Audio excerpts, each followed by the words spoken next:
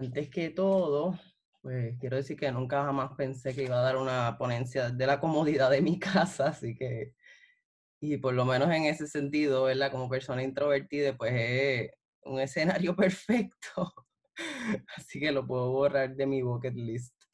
Y nada, si escuchan a cualquier momento pueden escuchar a Alex Perris ladrando, eh, o pueden ver entremeterse mis notas en, entre medio de la cámara, así que disculpen. Este, bueno, antes que todo, quiero hacer una, eh, sobre el título de la presentación. Este, es perspectiva trans eh, en la atención reproductiva de las personas gestantes. Eh, primero que todo, por el reconocimiento de que, como ya han dicho varias de las, de las colaboradoras, las personas gestantes no son exclusivamente mujeres y vamos a entrar mucho más en ese tema.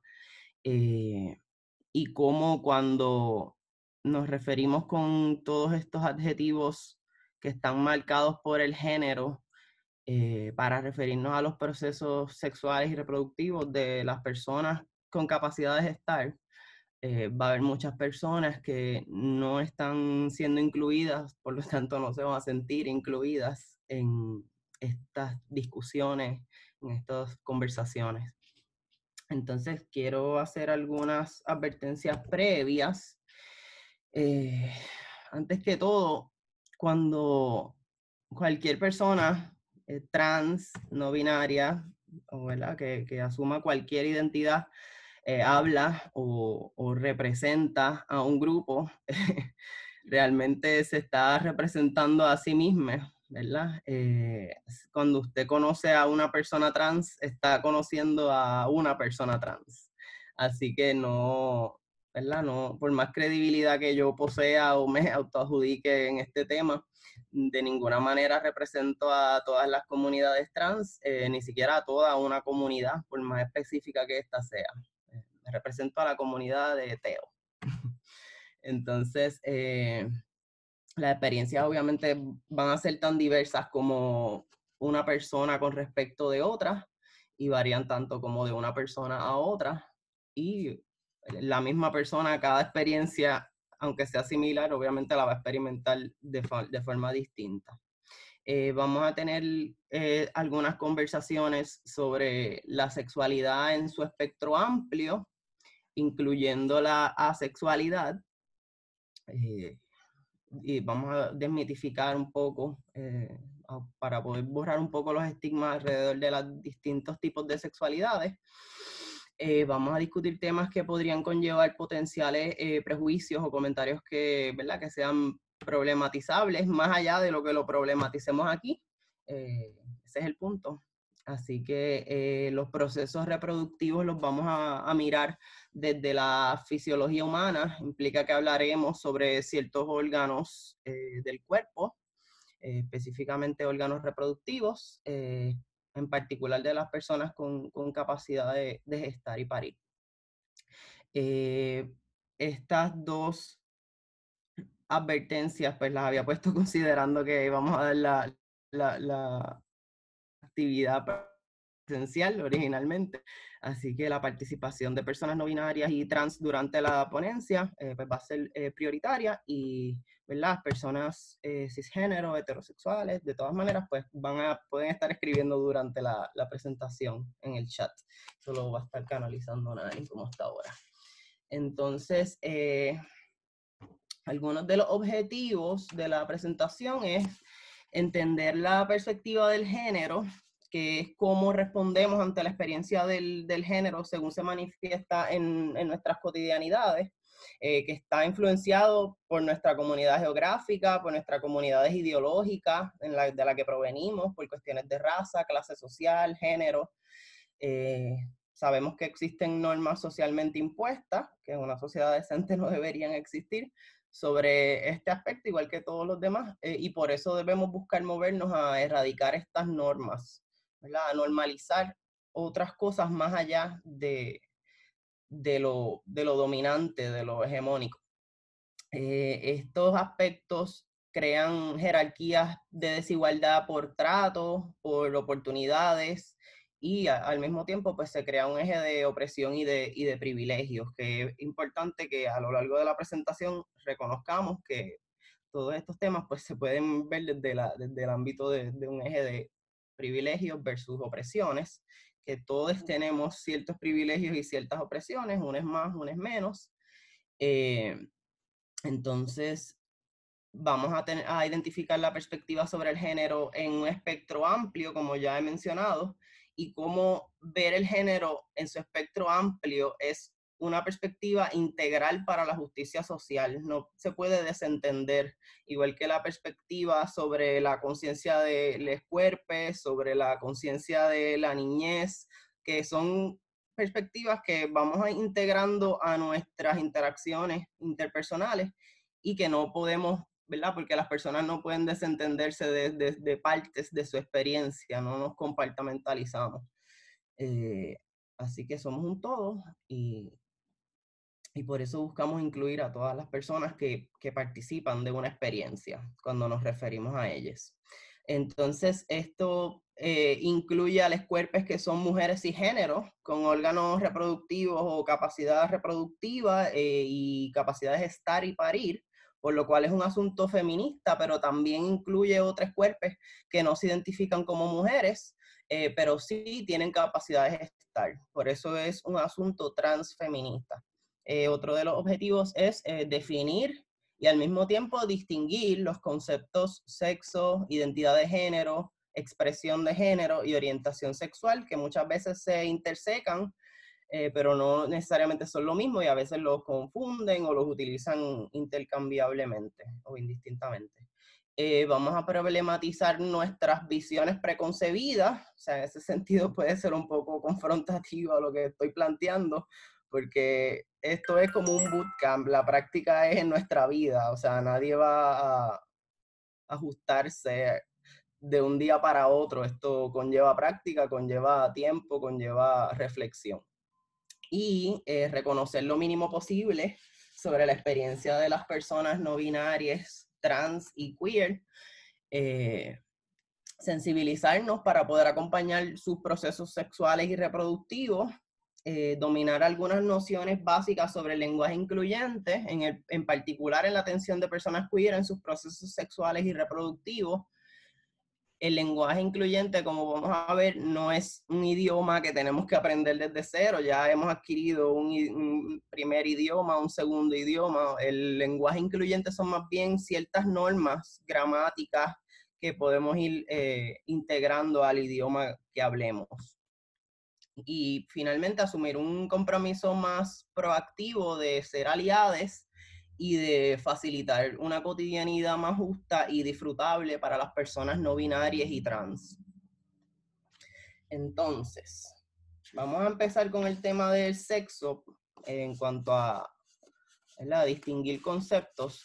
El sexo se trata en primer lugar, no como único factor, pero en primer lugar trata la, apariencia externa de, de, los órganos sexuales o de la genitalia es cómo se ve la entrepierna. Parecería insólito que de todas las preguntas que nos podemos hacer para definir a una persona, esa es la de las primeras que nos hagamos cuando van a hacer una cría, cuando nace, al momento de nacer, eh, que es lo primero que, que decimos, o lo primero que dice el obstetra o la o la partera o la persona que reciba la cría.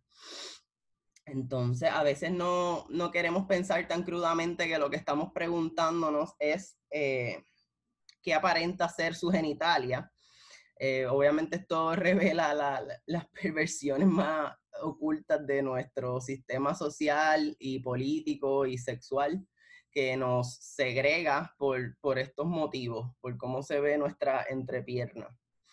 Eh, es eso con lo que nos obsesionamos desde antes que una cría nazca, como he mencionado, puede ser estimulado por la técnica radiográfica que realiza el sonograma o por la persona obstetra que antes que todo mira entre medio de las piernas de la cría recién nacida. Y a base de esa eh, apariencia de genitalia, impone un género. Más adelante voy a explicar por qué impone un género.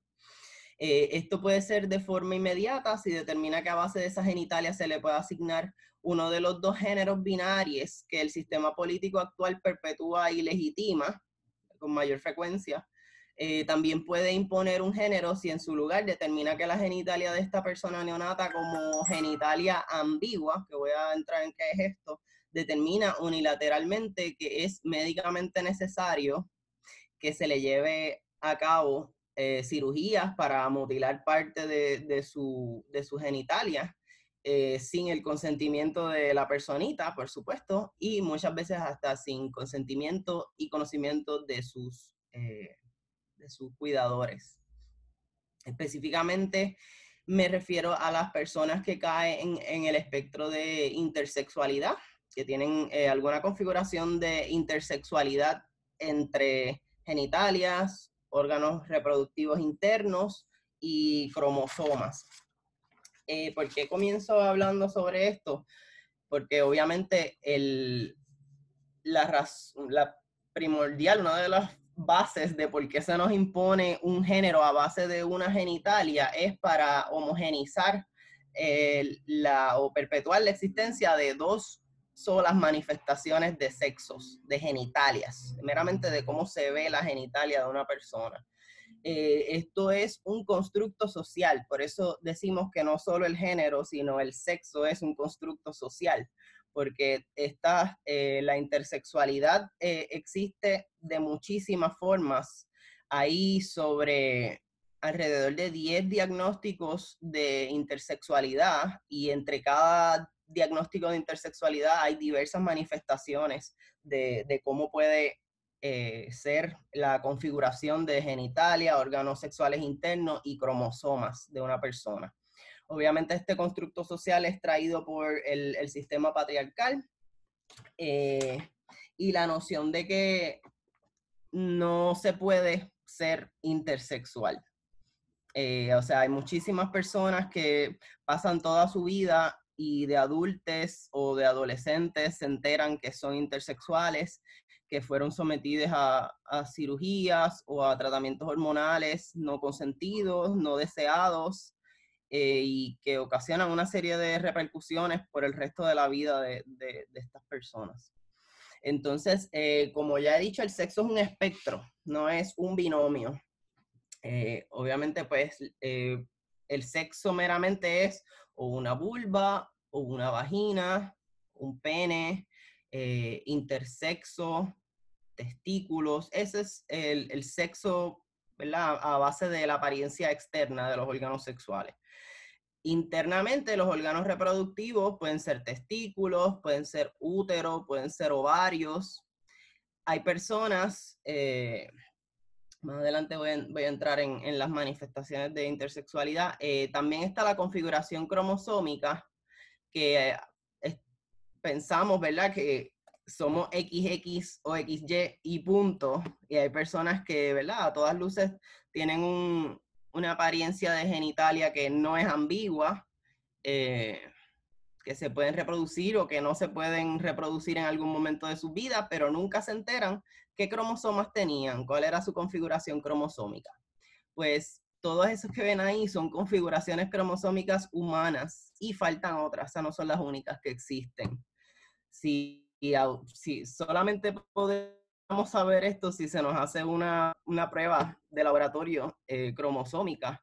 Así que, ¿verdad? Eh, la idea que nos han vendido de que si tienes una vulva o una vagina eres XX, o si tienes un pene eres XY, es totalmente falsa. Entonces, en cuanto al sexo, por esto es que cuando hablamos de en términos de mujer y hombre, no solamente es incorrecto en la mayor parte de las ocasiones, sino que es incompleto, ¿verdad? Borra toda una población de personas que están fuera de ese binomio de apariencia de genitalia. Entonces, eh, o de cromosomas, como ya he dicho, o de órganos internos. Igual cuando referimos a niña, niño, estamos imponiendo un género. Eh, y cuando decimos eh, anatomía, inclusive femenina o masculina, también le estamos adjudicando un género particular, un constructo social a cierta biología. Vamos a hablar de alternativas de cómo referirnos. Entonces, eh, perdón, voy a volver en ese, en ese sentido, si nos estamos refiriendo a una persona que tiene la capacidad de gestar, pues es una persona que tiene capacidad de gestar, no es exclusivamente o no tiene que identificarse como una mujer. Entonces, eh, ser un poco más precisos en el, en el lenguaje que, que utilizamos. En cuanto a la... Bien,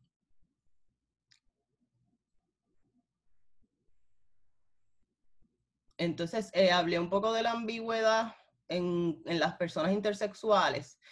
Este, cuando una persona recién nacida, como mencioné, eh, nace, no se dice en efecto su sexo, porque no se dice tiene un pene o tiene una vulva o es intersexual, que es lo primero que nos preguntamos o lo primero que se responde cuando nace una cría, es ¿qué es?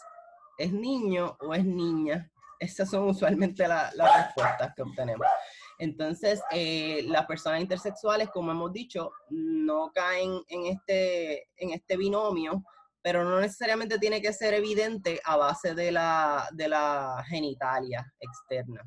Puede aparentar que hay un pene y van a decir hay un niño y a lo mejor tiene un útero por dentro, a lo mejor tiene ovarios, eh, a lo mejor tiene un pene y una vulva, hay muchas maneras en las que se manifiesta la intersexualidad y bajo el pretexto de que sus genitales son ambiguos, como médicamente se les conoce a veces, se legitiman eh, o la tecnología biomédica legitima una serie de procedimientos quirúrgicos estéticos y opcionales que son barbáricos a las personas intersexuales. Eh, a veces estos, estas cirugías o tratamientos se administran al momento inmediato del nacimiento. En otras ocasiones, estas cirugías opcionales o terapias hormonales que no son consentidas se repiten en incontables ocasiones a lo largo de la vida y de las etapas del desarrollo de, de las personas intersex. Eh, las personas intersex existen desde el principio de la humanidad. La intersexualidad en ocasiones se distingue de la experiencia transgénero en términos de que la primera trata sobre características biológicas, mientras que la segunda trata sobre la identidad. En lo personal difiero, ya que no obstante, aún en el caso de la identidad, gira en torno a la conformidad o inconformidad con la imposición de X género desde antes de nacer. Es seleccionado a base meramente de características biológicas que comúnmente son tratadas como equivalentes a identidades de género podemos ver que en estos aspectos, pues esos conceptos se, se intersecan de alguna forma, pero no son lo mismo, no son intercambiables.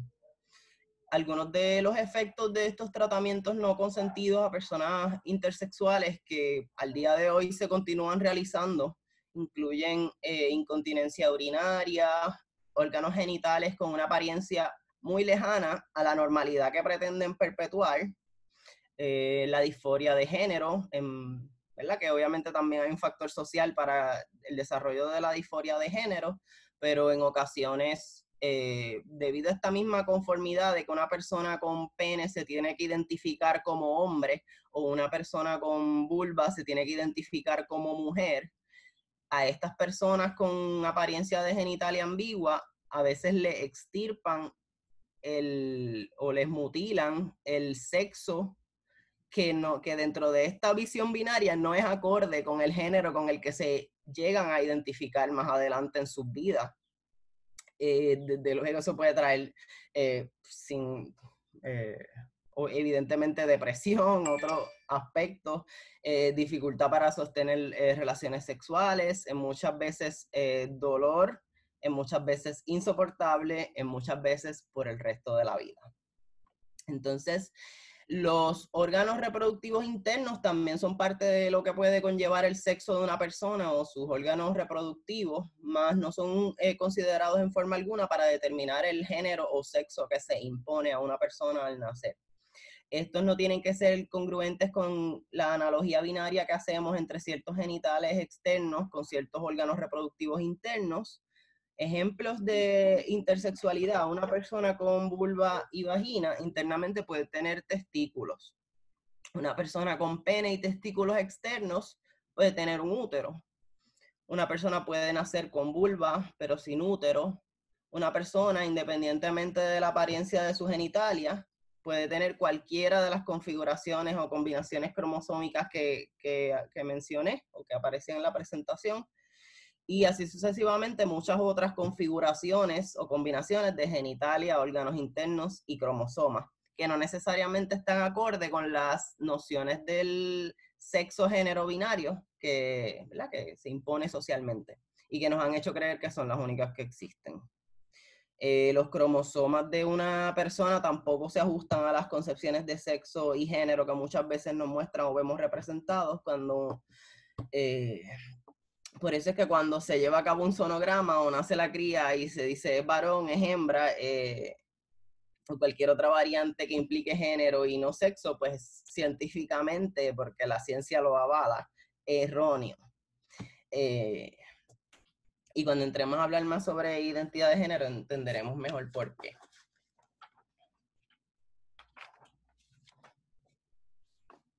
Eh, la identidad de género en, general es el sentido o la definición de quiénes somos o, dónde nos posicionamos en cuanto a cierto aspecto de la humanidad, en este caso el género. Por lo tanto, es un posicionamiento personal como político, en tanto a la vez que viene socialmente definido, también batallamos constantemente contra esos límites para autodefinirnos o reclamar el espacio que corresponde a nuestra experiencia según la concebimos nosotros. Eh, coexistimos en un contexto que tiene unas nociones culturales de cómo debe ser el género.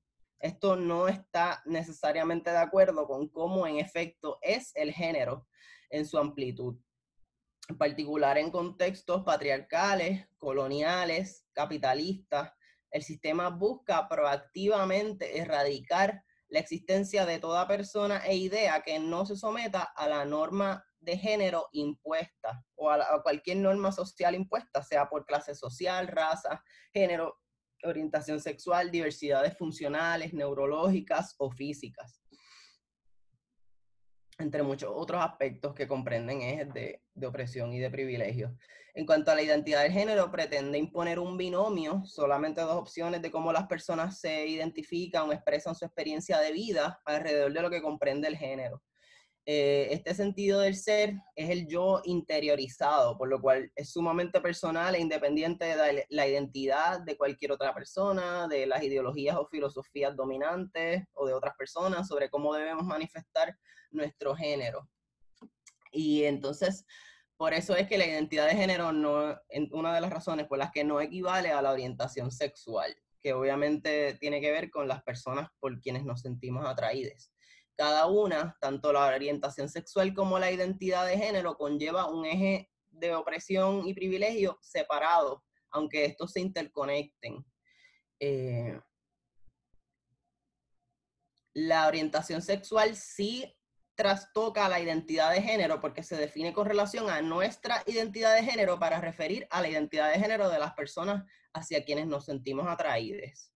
Entonces, eh, no se trata de que las personas naturalmente son cisgénero eh, y como tal, todo lo que no se conforme a este supuesto estado normal, como es la identidad trans, eh, la experiencia intersex, entre otras, existe alrededor de la experiencia cisgénero.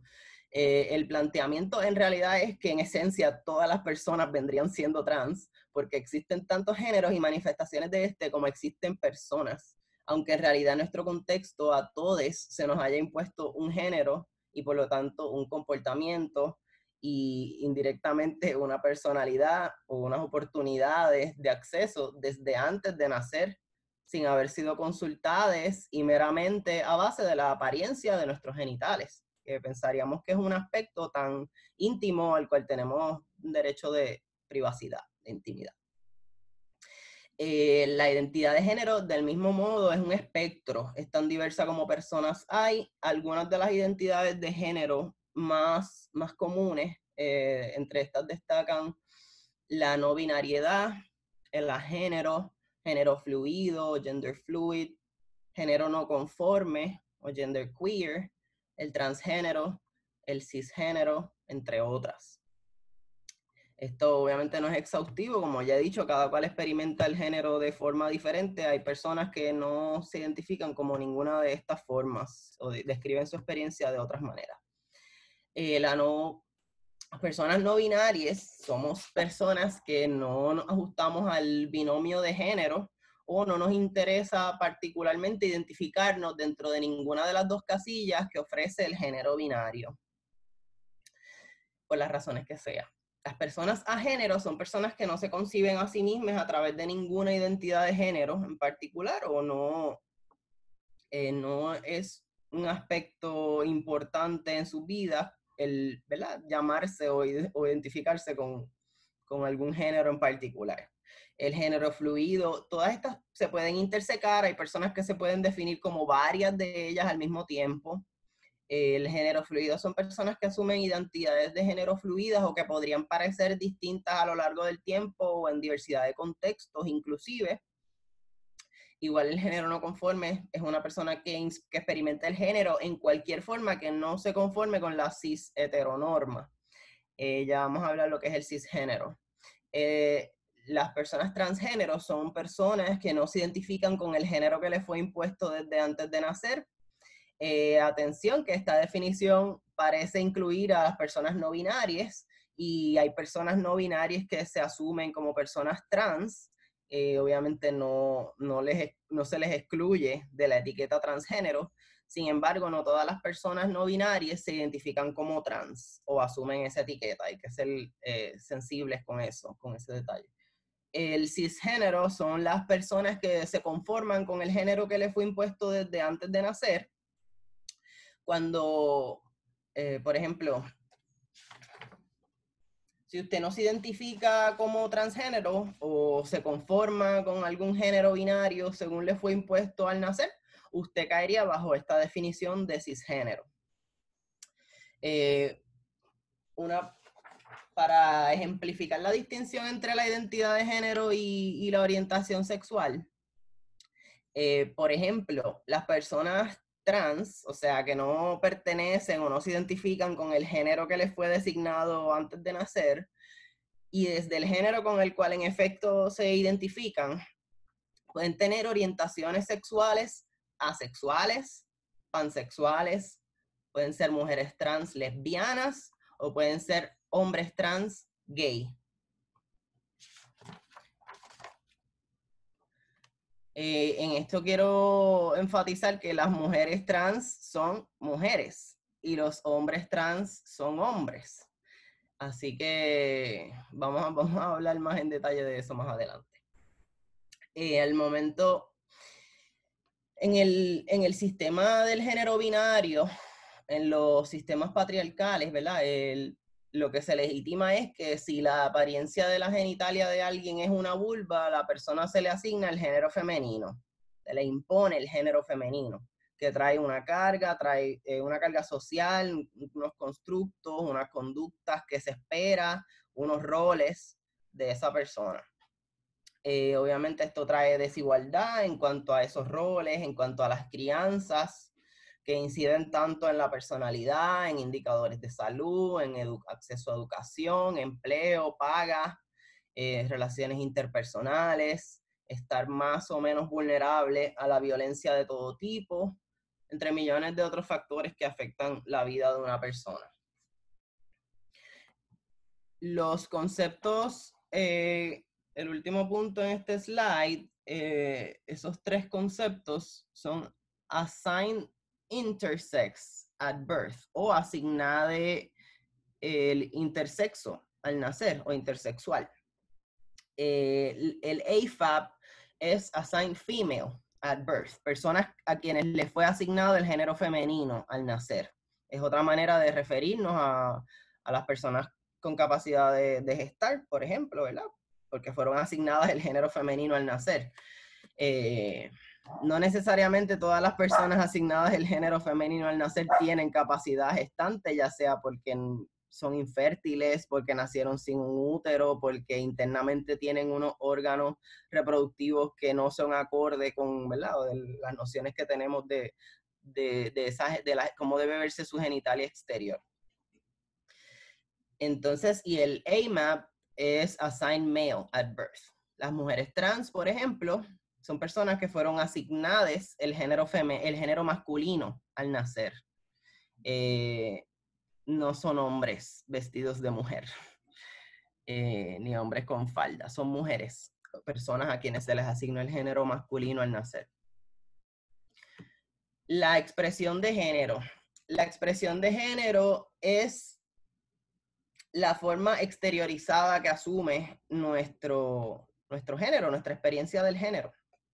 No define la identidad de género, muchas personas, ya sea por razones de salud, por razones de inseguridad social o familiar en los círculos en que se encuentran, o por cualquier otra razón, porque no les interese, independientemente de que se identifiquen como personas trans y se identifiquen con cierto género, no necesariamente manifiestan o expresan esta identidad exteriorizadamente a través de su apariencia o en la forma en que comúnmente validamos o reconocemos lo femenino o lo masculino en cuanto a la, ¿verdad? la noción binaria o binomial del género. Como he dicho, a veces se debe a factores de, de salud, como por ejemplo no poder transicionar hormonalmente, eh, puede ser por razones de seguridad social, porque corren peligro, se sienten amenazadas de recibir violencia física, si expresan su identidad de género de parte de la familia inmediata o puede ser por el Estado. Algunos países aún criminalizan el ser trans. Puede haber muchas otras razones, estas no son exhaustivas.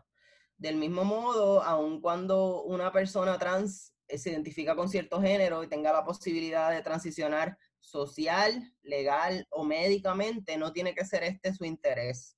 Es decir, un hombre trans, por ejemplo, puede pasar toda su vida no solamente sin recibir tratamiento hormonal o quirúrgico, sino que puede presentarse completamente femenino, exteriorizadamente en cuanto a sus pronombres, inclusive en cuanto a su apariencia física, vestimenta, cabello, entre otros aspectos.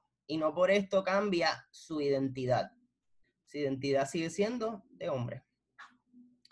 Eh, la expresión de género no es un aspecto que solo incluye o compete a las personas trans. Desde luego, el cisgénero que nos fue impuesto al nacer comprende una expresión de género eh, y conlleva la conducta, los roles y el performance que se nos impuso eh, representar diariamente a través de ese género que se nos impuso. Entonces, eh, y del mismo modo hay hombres cisgénero, ya sean gay o heterosexuales, que se presentan de forma más femenina. Hay mujeres, sean heterosexuales o sean lesbianas, que se presentan de forma más masculina. Esa es la expresión de género.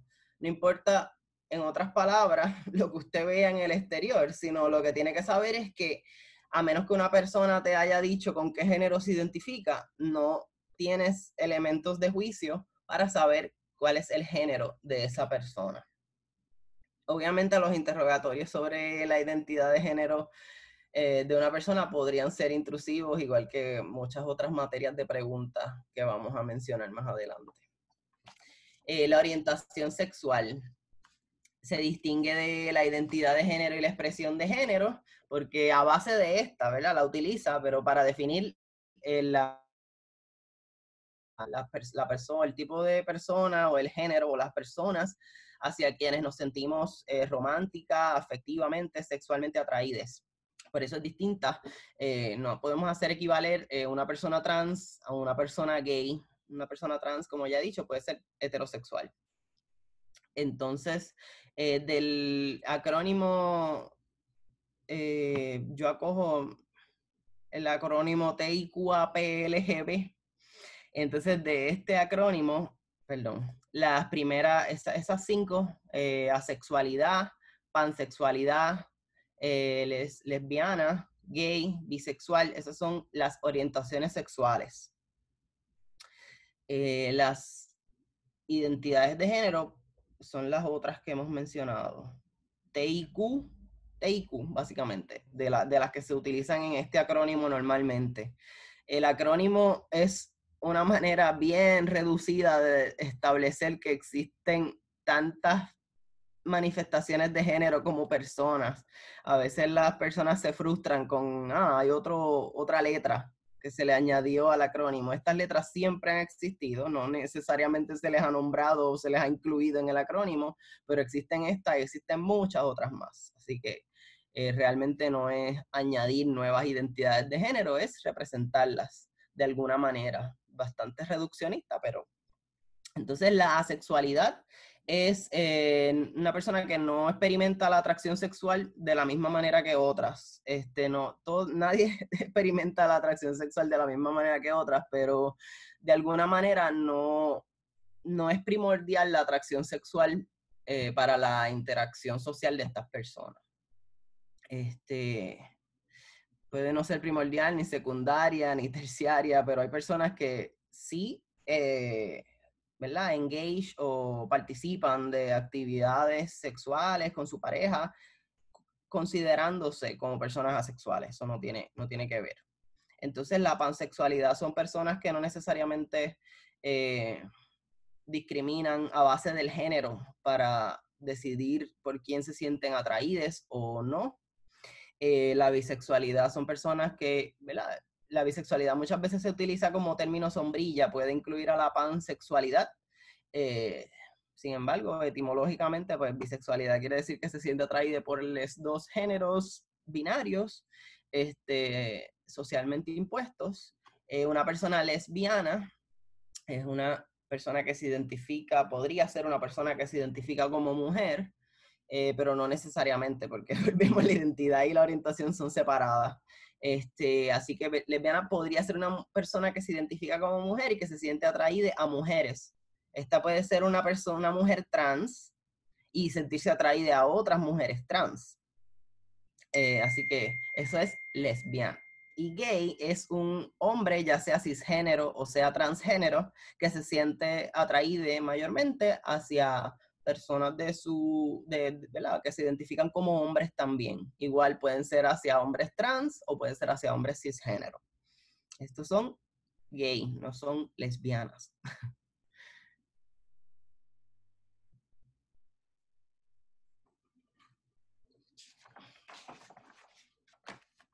Entonces, eh, algunos conceptos que podrían ser problemáticos cuando tratamos ¿verdad? Sobre el, e, en esta perspectiva, cuando vamos adquiriendo esta perspectiva del género así ampliamente. Eh, los, los transgéneros. cuando hablamos de los transgéneros, eh, ¿verdad? Aunque transgénero es un concepto correcto, ah, muchas de las personas trans no decimos transgénero, decimos personas trans, pero no, o sea, no es, lo problemático aquí no es necesariamente decir la palabra transgénero, sino objetificar a una persona a base de una característica. Cuando usted dice, estamos haciendo lo mismo cuando decimos los gays o les negres, por ejemplo, en vez de decir las personas negras, eh, las personas de experiencia de color, las personas transgénero, a las personas trans. Ahí estamos hablando en primer lugar de una persona y estamos mencionando una cualidad o un aspecto de su experiencia, en lugar de, objetificar esa cualidad o personalizarla, no sé, este, decir los transgéneros.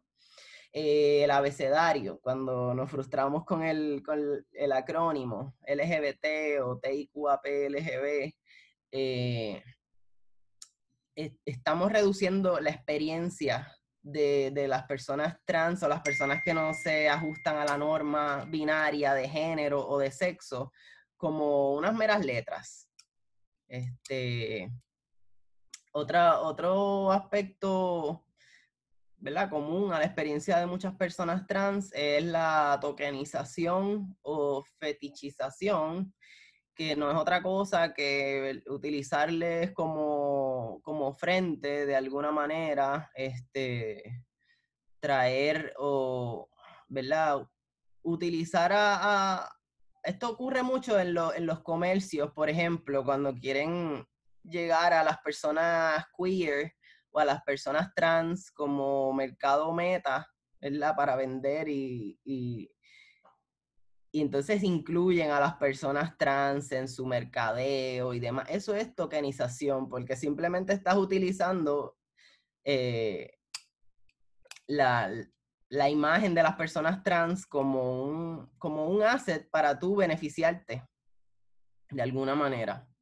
Entonces, eh, decir que, ah, pero biológicamente, genéticamente o fisiológicamente eso es una mujer eso está incorrecto y la ciencia lo apoya, que la ciencia apoya que eso no es correcto. La ciencia que no está actualizada, desde luego, no lo, no lo reconoce, pero, pero sí, existen eh, fuentes que lo legitiman, que, o sea, el, el género es mucho más que femenino o masculino y el sexo no es femenino o masculino, el sexo es o tiene esta, si queremos hablar de genitales, pues estos genitales o estos otros genitales. Si lo que estamos hablando es de otra cosa, pues entonces ser más específicos a qué que nos estamos refiriendo. Y del mismo modo, para decir de una mujer trans que es biológica o genética o fisiológicamente un hombre, no, es biológica, genética y fisiológicamente del género con el que se identifica. Si lo que quieres decir es que tiene un pene que le importa a poca gente, ¿verdad? O le debería importar, pero si eso es lo que queremos hablar, pues eso es lo que tenemos que decir. Y obviamente las personas trans no son dragas, ni, ni usan un disfraz, ni se están escondiendo de nadie. Simplemente están expresando la identidad de género con la que tuvieron que descubrir que se sienten cómodos, más allá de la que se les impuso de nacimiento el, ¿verdad? Decir que son simplemente gay, referirse, como dije ahorita, una mujer trans que se siente, que se siente atraída por hombres exclusivamente, no es un gay, es una mujer trans heterosexual. Igual que una mujer trans que solamente se siente atraída hacia mujeres cisgénero o mujeres trans, es una mujer lesbiana. Así que tener mucho cuidado cuando decimos que un hombre trans es simplemente gay, es una lesbiana, ¿no? Es un hombre trans que puede ser heterosexual, puede ser gay, entre muchas otras. Eh, o que están buscando llamar la atención, que es una mujer que quiere ser hombre, un hombre que quiere ser mujer, que nació nena, pero se siente nene, o que nació nene, pero se siente nena. Y hasta transgénicos he escuchado referirse a las personas trans, quizás por equivocación, pero no somos un químico tóxico que hace daño a la sociedad. Entonces, eh, para hablar sobre la experiencia trans, las personas trans, eh, antes que todo, son personas, como hemos dicho ya, en oposición a la objetificación de las personas trans o no binarias, como los transgéneros o los no binarios. Somos personas. Eh, podemos pertenecer a alguna de las comunidades o identificarnos como parte de las comunidades TIQAP LGB o podemos ser heterosexuales, eh, somos personas cambiantes como todos, completas, eh, válidas, resilientes, interseccionales, eh, talentosas, complejas. Somos biológica, genética y fisiológicamente del género con el cual nos identificamos. Eh, somos sujetos de derechos humanos y de derechos sexuales y reproductivos y somos valientes y hermosos.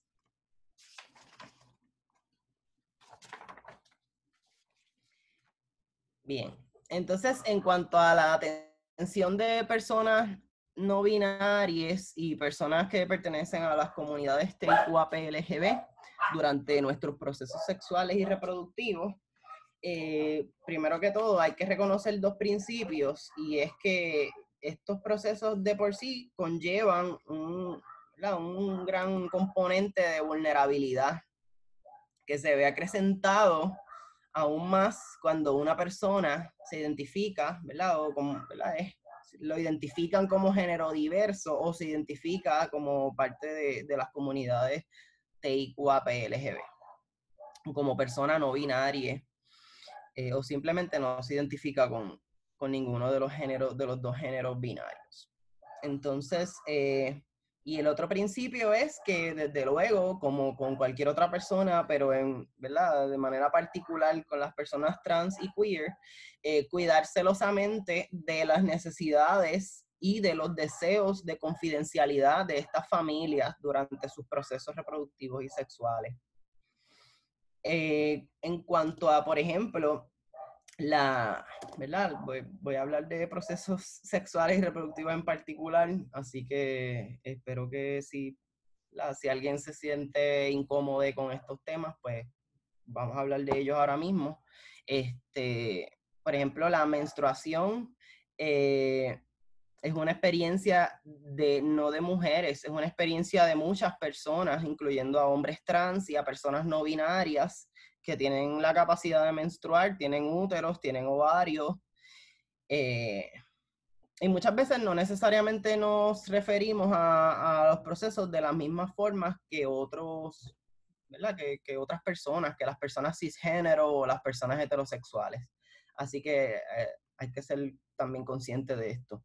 Este, yo en lo personal me siento cómodo con el concepto menstruación, flujo menstrual, eh, sin embargo, hay otros hombres trans que este, este tema puede ser muy eh, detonante, ¿verdad? De, frustraciones, de, de, muchos sentimientos. Entonces, este, muchos hombres trans se refieren a, a ese proceso, particularmente personas no binarias, transmasculinas y hombres trans que menstruan este, o que específicamente quienes ya están atravesando procesos hormonales eh, o decidieron atravesar procesos hormonales como manchado. Eso es un, concepto este, en lugar de, menstruación. Sobre todo porque las personas en, tratamiento de, reemplazo, de reemplazo hormonal con testosterona por lo general cuando la dosis que se administra es suficiente, la ovulación se detiene. Entonces, esta es una de las razones por las que pasa a llamársele manchado en lugar de menstruación. Como dije, aparte este término pues puede ser causante de disforia de género para muchas personas no binarias y trans. Eh, de nuevo, pues auscultar con qué se siente cómoda cada persona y, y respetar eso, ser sensible en ese sentido. Eh, y siempre, como dije, considerar integrar el lenguaje que utiliza la propia persona para referirse a su experiencia o a esa experiencia en general eh, e integrar ese lenguaje. Las personas en tratamiento de reemplazo hormonal con testosterona, no obstante, podrían quedar preñadas, puesto que el tratamiento de reemplazo hormonal no funge propiamente como anticonceptivo Así que deben continuar utilizando métodos anticonceptivos reconocidos y efectivos para evitar una gestación no deseada.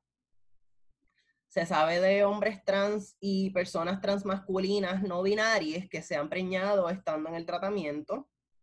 Eh, como dije, como la menstruación tal cual la conocemos desaparece durante el tratamiento, muchas de estas personas se enteran mucho más adelantada su gestación. Eso es un factor a considerar. Eh, por esto y por muchas otras razones se agudiza la necesidad de que el equipo de acompañamiento de una persona gestante sea consciente, sea sensible y solidario sobre los pormenores de la experiencia de estos procesos en personas no binarias y trans. Hay ocasiones en que las personas no binarias y transmasculinas escogen pasar como mujeres cisgénero durante este proceso. Eso es lo que dice, ¿verdad? La, data y los testimonios, si bien debemos este, auscultar las razones por las cuales una persona decide pasar, eh, no, no empiece su, identidad de género, decide pasar como una mujer cisgénero durante esa gestación, eh, ya sea para ¿verdad? mantener récord de ello, escrutar si hay algo que en efecto podamos facilitar para, para esa persona, que si se sienta más cómodo asumiendo su identidad de género, no es nuestra decisión como ninguna otra ¿verdad? en el proceso de, gestación y parto. Eh, qué género va a asumir esa persona y por lo tanto hay que respetar la decisión de un hombre trans de pasar como mujer cisgénero durante este proceso. eh, nunca es correcto sacar del closet a una persona. Si una persona eh, atiende a un hombre trans durante su gestación y su parto, eh, que está pasando como mujer cisgénero ante otros, y nos permite a nosotros en un ámbito privado referirnos a, a él como, ¿verdad?, en, con pronombres masculinos, pues hay que hacer ese ajuste, es crucial eh, para no sacar del closet a la persona ante el ámbito biomédico, ante sus demás profesionales de la salud o personas que le atiendan o personas de su comunidad con quienes interactúe, porque no necesariamente quieres pasar solamente ante tus profesionales de la salud, a veces quieres pasar ante eh, como persona género, ¿verdad? Y que no se sepa que eres trans, eh, tu estatus, ante, ante tu familia, ante tu pareja, no sabemos cuáles son las circunstancias de esa persona. Entonces, eh, otra realidad desafortunada que apoya los datos empíricos es que cuando los hombres trans o personas no binarias transmasculinas que no han atravesado transiciones médicas deciden pasar como mujeres cisgénero durante su proceso de gestación, reciben mucho mejor trato y se les brinda acceso a ejercitar mucho más derechos reproductivos y se les brinda muchas más oportunidades de salud durante el proceso. Eh, una de las, ah, no lo puse en la presentación, pero el, aborto como principio y como opción a todas las personas gestantes es mucho más importante en el, en el ámbito de las personas trans y no binarias. Esa es una de las razones por las que ¿verdad? fomentamos que el, el, derecho al aborto como un derecho humano para todas las personas no solamente las mujeres abortan. Eh, debido al tabú alrededor de la preñez de personas transmasculinas, el tabú adherido al aborto es mucho mayor que en el, caso de un hombre trans no binario, por ejemplo. Eh, nosotros desconocemos las circunstancias en las que una persona quedó preñada y no necesariamente nos la quiere divulgar. Eh, y la inmensidad de potenciales razones de una persona para desear interrumpir una gestación. Eh, por lo tanto, y de forma particular con las personas queer y TIQAP, LGB, el aborto tiene que ser un derecho accesible y sin limitaciones de tiempo o de motivo. Eh, si una persona en tratamiento de reemplazo hormonal con testosterona se entera que está gestando y no desea interrumpir esa gestación, es importante, ¿verdad? Si desea llevarla a término y parir a la cría, debe interrumpir el tratamiento con testosterona a la brevedad posible, ya que la data empírica demuestra que eh, en efecto el, feto se puede afectar con, la administración de la testosterona a la persona gestante durante la gestación. Eh, la, la reproducción de las personas queer, sexodiversas, pueden ser las mismas formas de reproducción que cualquier persona, ya sea por fecundación sexual o asistida. Cada vez se visibilizan más familias trans en procesos reproductivos que poseen toda la maquinaria biológica necesaria para preñarse, gestar y parir. Algunas familias trans, no obstante, requieren asistencia clínica, ya sea para conservar su material genético, eh, bastante inaccesible, pero debería ser una opción, eh, para concebir para sostener una gestación y para parir. Algunos hombres trans eh, que están a punto de o antes de comenzar sus transiciones médicas, que sepan que no les interesa ser portadores de su cría, pero que sí desean que su material genético sea utilizado en la concepción de la cría, lo ideal es que eh, en la edad más joven posible y obviamente antes de comenzar transiciones médicas, con testosterona, se le se traiga, se preserve eh, ese material genético, sus óvulos. Eh, del mismo modo, eh, mujeres trans que desean concebir o ser proveedoras del material genético de su cría deben conservarlo, ya sea por medio de un banco de esperma, ya que aunque los estudios no son concluyentes, se puede decir que el tratamiento de reemplazo hormonal en algunas personas ha afectado la fertilidad posterior de personas transfemeninas o no binarias. Eh, eh, aunque ninguna de las opciones, de las dos opciones son económicas, como dije, ni accesibles en nuestro contexto colonial, es definitivamente mucho más costoso preservar el material genético de una persona asignada el género femenino al nacer que el de una persona asignada el género masculino. Eh, cuando un hombre trans o persona trans masculina y no binaria que se encuentra bajo el tratamiento con testosterona desea ser portador o padre gestante, como nos llamamos seahorse dads, o caballito de mar, ya que el, el macho en los caballitos de mar es el que gesta y pare. Es importante que entonces planifique el momento en el que desea comenzar a intentar a concebir para que haya dejado el tratamiento con testosterona unos seis meses antes, que es aproximadamente el tiempo que se toma en, en recaer el, ciclo menstrual o, la ovulación propiamente.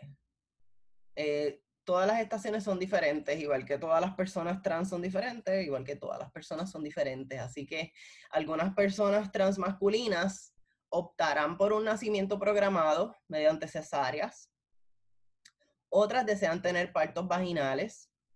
Hay una correlación entre haber experimentado eh, transiciones médicas, con testosterona específicamente, y un aumento en la selección de cesáreas programadas.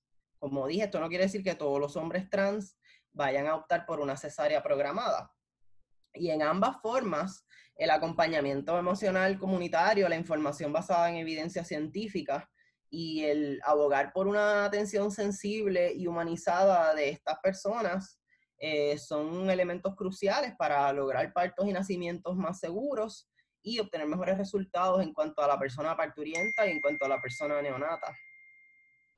En el ámbito del posparto, es importante conocer qué método de alimentación va a interesar a esa familia o va a ofrecer a su cría eh, las personas transmasculinas podrían dar pecho, independientemente de que le haya sido quirúrgicamente removido el pecho, dependiendo de la cantidad de masa mamaria que se conserve o que le haya dejado su cirujano. Eso se puede conversar previamente a, la cirugía también con, con su cirujano. Del mismo modo, pueden no querer dar el pecho, entonces pues se considerarían los siguientes métodos de alimentación, donaciones, sucedáneos, entre otras. Entonces, eh, por eso utilizamos para, ¿verdad? para referirnos en el ámbito de la lactancia, eh, para incluir a todas las personas que, atraviesan esta experiencia o que interesan eh, lactar a sus crías, la lactancia humana. Porque, ¿verdad? Lactancia materna vuelve a adjudicarle un género a todas las personas que dan el pecho o que lactan que no necesariamente se identifican como madres, pueden ser padres gestantes. Eh, del mismo modo, es importante asistir en la medida en que sea apropiado sobre metodologías relacionadas a, la crianza, según interese la persona criadora, que no necesariamente es la misma que la persona gestante y la persona parturienta. Eh,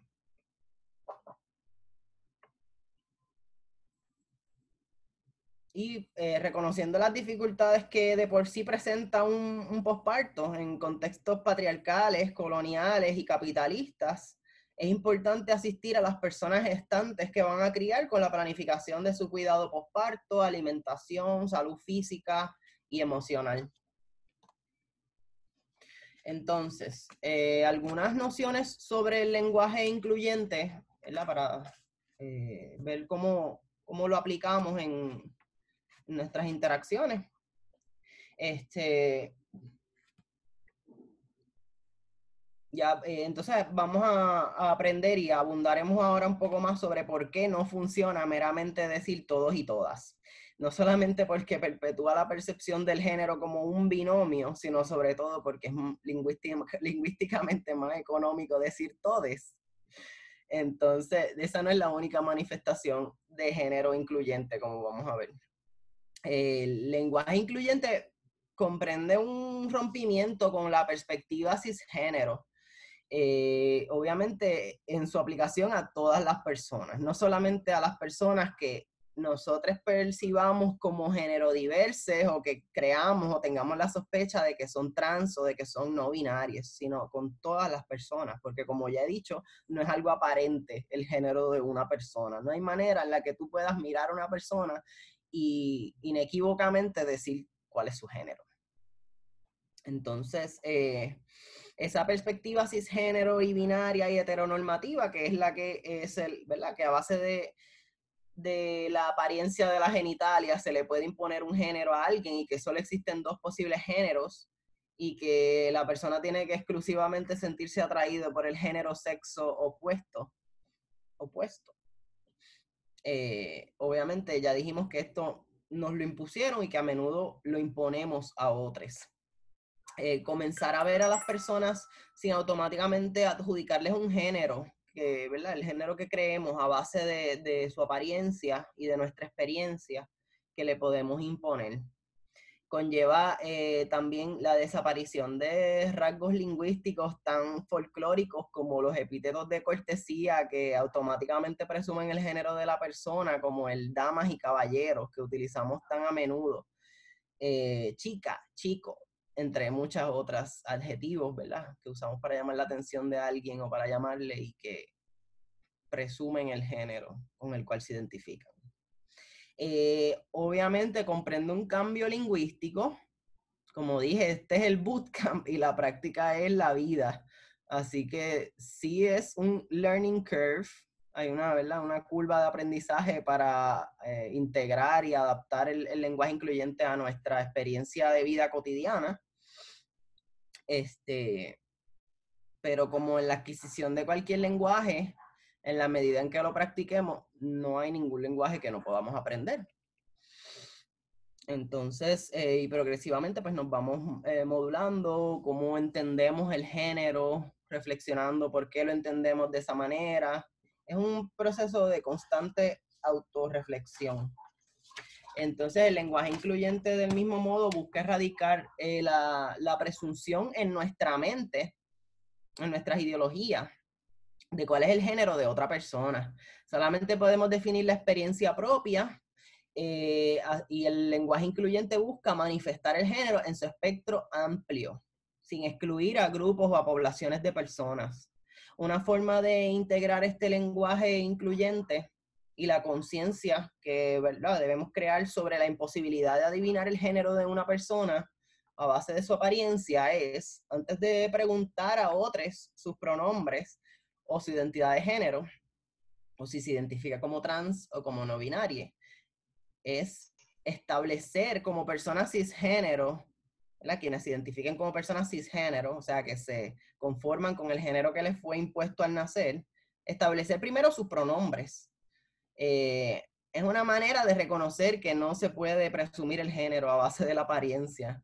Eh, porque si en un patriarcado me presumen mujer y yo me identifico como mujer y establezco mis interacciones sociales, mucho gusto, mis pronombres son ella, estoy normalizando que, que no hay una forma de no hay una forma de verse mujer, ni una forma de ser mujer. Que cualquier persona, eh, indistintamente de cómo se vista, de cómo sea su pelo, o sea, si lo concebimos como un hombre cisgénero, puede ser una mujer trans, no sabemos. Así que algunos de los pronombres eh, más comunes dentro de las nociones del lenguaje incluyente son ella, ellos, elli, ellu, ellos, ella, él. En inglés se utilizan they, they, their, con Z. Eh, y son algunos de los que podemos integrar. Abajo puse unos ejemplos de cómo se pueden utilizar. Eh, ¿Ya hablaste con el maestre del SNIS? Hmm voy a ser abogadi. ¿Esos son tus hermanos? ¿Están todos, algunos o ninguno? O sea, hay algunas que son más familiares que otras para nosotros, algunas, para algunas personas ninguna puede que sea familiar, ni las que son con E, ni las que son con I. Eh, el punto es romper con, la presunción de que aunque, digamos, tú me ves y, y piensas que soy un hombre trans, pero a lo mejor te equivocas, ¿no sabes? Así que yo en lo personal adopto la práctica de cuando me refiero a personas que no me han expresado su género eh, y no les tengo que preguntar necesariamente, pues utilizo el lenguaje, el, pronombre neutro. ¿Y tú le conoces a ella? ¿O no le conoces? Bueno, entonces esas son algunas maneras, como digo, no, no van a ver estos siete ejemplos y van a poder integrar el lenguaje incluyente de ahora en adelante en sus vidas. Es una cuestión de irlos integrando poco a poco y adaptarse a, ellos. Entonces, eh, otra manera de utilizar el lenguaje incluyente es, por supuesto, respetar los nombres de las personas.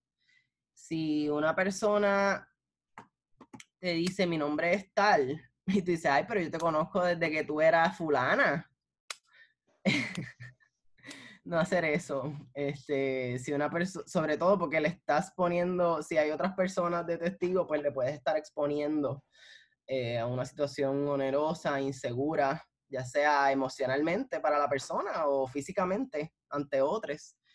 Eh, así que respetar los nombres de las personas y adoptarlos. Cuando alguien te diga cuál es su nombre, pues comienza a utilizarlo, aunque conocieras otro nombre anteriormente para esa persona. Y entonces finalmente algunas formas de ser aliadas, como personas eh, cisgénero y heterosexuales, eh, o personas cisgénero, eh, reflexionar cuáles son actualmente nuestras actitudes hacia alguna persona no binaria, trans, eh, o que se identifica como parte de las comunidades IQAP LGB. considerar en qué forma romantizamos, exotizamos o fetichizamos la experiencia de las personas trans, qué bellos son todos, este, somos bellas, pero, o sea, nada es blanco y negro, igual que con todas las personas. Otra forma es poner al frente socialmente, económicamente a las personas no binarias y trans. Eh, crédito. Bueno, ladrar afuera. Este, atribuirles crédito al trabajo de las personas no binarias y trans contratar a personas no binarias y trans, en la medida en que sea una posibilidad crear becas o programas de desarrollo humano que sean organizados por personas trans y no binarias para otras personas trans y no binarias. Eh, respetar o eh, respetar los espacios o no ocupar o desocupar los espacios que le corresponden a personas no binarias y trans ya sea para hablar sobre su experiencia o para organizarse sobre su experiencia. Como ya dije, divulgar primero tus pronombres como persona cisgénero, tus pronombres o tu identidad de género, en lugar de preguntarle a otros su pronombre o su identidad de género. Y eh, no aislarles ni evadirles.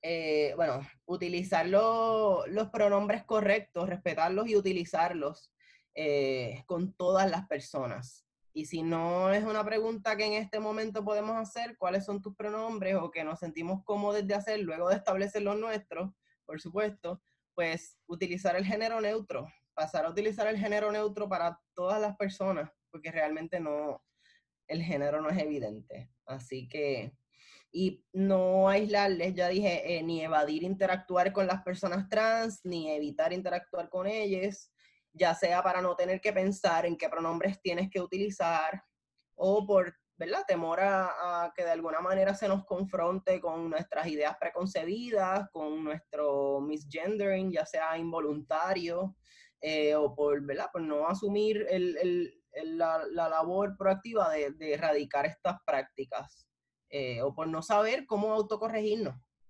Eh, ese es otro aspecto de la colonización que nos ayudamos a aprender a deconstruir el que pues somos así y nunca vamos a cambiar. o para mí nunca vas a cambiar. Entonces, eh, no hacer un issue del misgendering.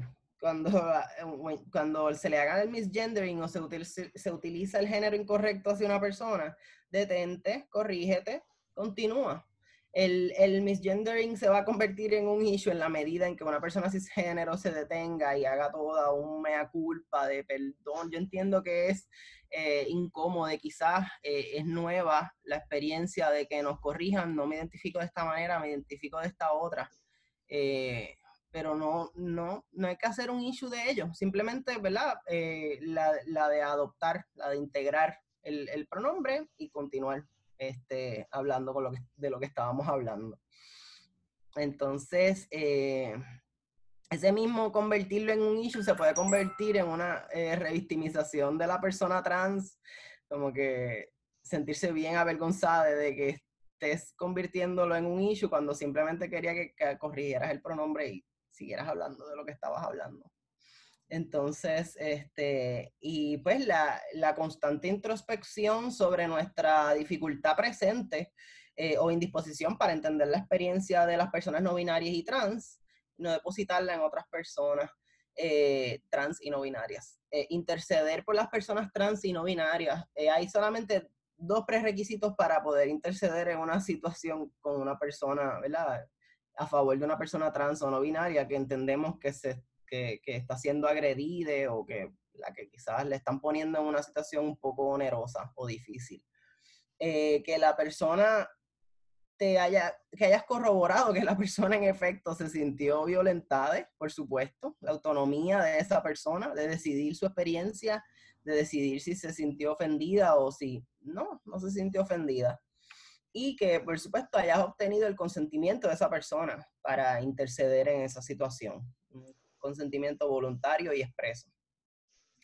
Eh, cuando veas conductas transfóbicas, no ser eh, cómplice, no tiene que estar presente una persona no binaria y trans para corregir a una persona que, ¿verdad? que acaba de emitir un comentario transfóbico o que está teniendo conductas transfóbicas.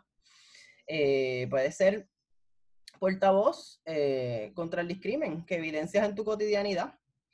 Eh, no exigir tiempo de labor emocional, física o intelectual que no vaya a ser compensada de parte de personas trans y no binarias. Y eh, suspender la práctica de representar órganos sexuales y partes sexuadas del cuerpo como la epítome de la cualidad de ser de cierto género. Eh, por ejemplo, utilizar para definir lo que es el ser mujer, utilizar constantemente la vulva, el útero, las tetas. Puede ser no solamente de, la causante de disforia para los hombres trans que no son mujeres, aunque puedan tener algunas de esas partes del cuerpo, igual que excluyente de las mujeres trans que también se identifican como mujeres y que la, su experiencia existe y ha existido siempre y es muy válida. Así que ya, eso es todo por mi parte. Ahí hay dos familias trans